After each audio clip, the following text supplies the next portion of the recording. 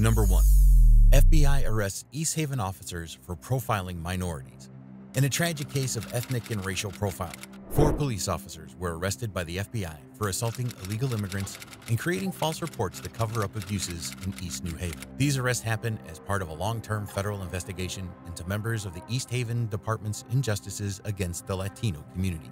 According to the federal indictment, the officers assaulted individuals while they were in handcuffs, unlawfully searched and ransacked Latino businesses, and harassed and intimidated individuals who tried to investigate or report misconduct or abuse. These actions drove many newcomers from Mexico and Ecuador to leave the blue-collar city. The four officers involved were Dennis Spaulding, David Cari, Jason Zullo, and Sergeant John Miller. They were all charged on a 10-count indictment that included executing unreasonable searches and seizures, using unreasonable force during five arrests, arresting five people on false pretenses, and then using intimidation and creating false reports to conceal her actions. According to reports, Zullo described taking joy in singling out Latinos. He once told his fellow officer Spaulding in a 2008 exchange that he liked harassing drivers and referred to persons who have drifted to this country on rafts made of chicken wings and are now residing in East Haven.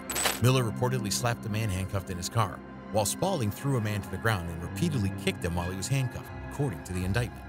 All four members of the EHPD are purported to have used excessive force during unlawful arrests from July 2007 to 2011. One federal official even called these officers a cancerous cadre of bullies with badges.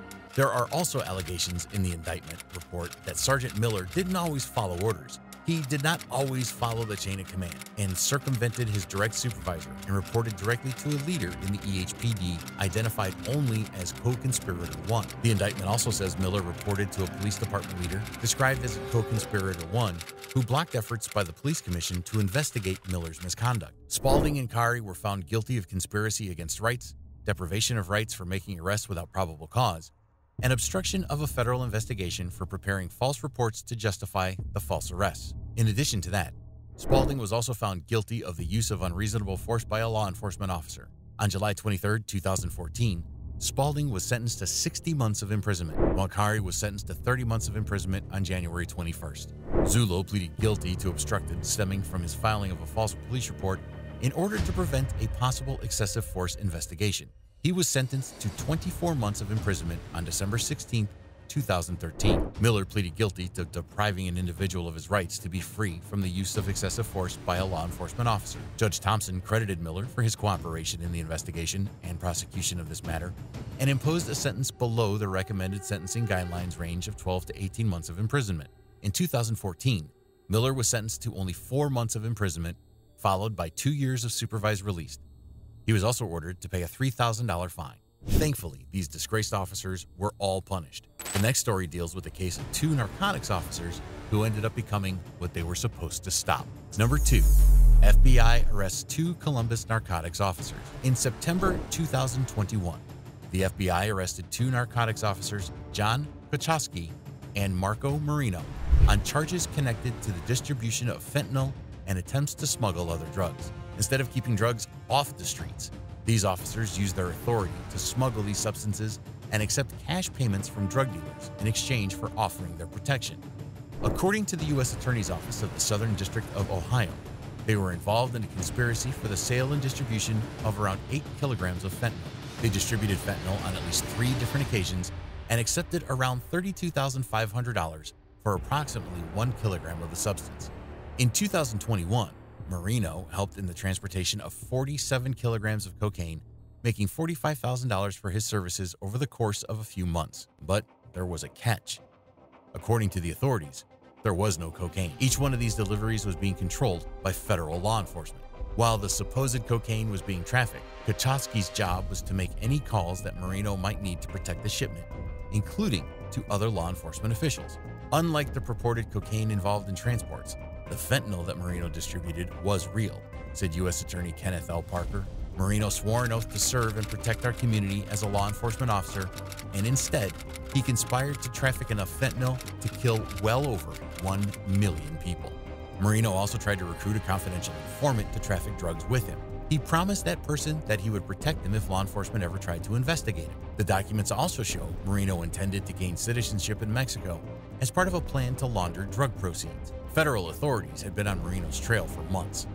Undercover agents disguised themselves as drug dealers and met with Marino on multiple occasions to pull off fake drug deals. Finally, in September 2021, Marino was arrested by the FBI. He implicated Kachowski in his statement to the authorities and told them that they made an even split from the cash made from their business. During a recorded phone call, Marino said Kachowski had threatened to have Marino's wife and children killed by sicarios, a Spanish word for hitmen, if Marino spoke about the pair's activities. Pretty soon, though, Kachowski was also put under cuffs. Earlier this year, he was sentenced to nine years in prison by the U.S. District Judge Edmund A. Sargus Jr.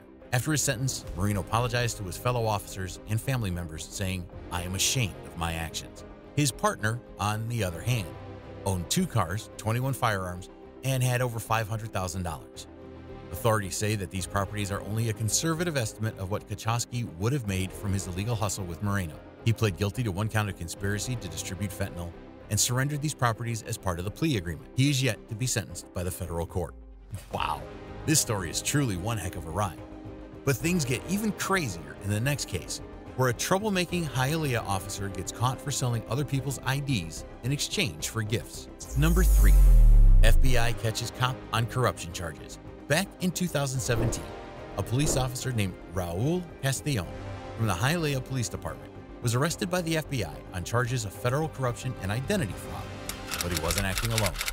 There was another person involved, a woman named Naylin Gonzalez Diaz. Together, the duo ran the whole scheme that benefited them both, but now they both found themselves indicted.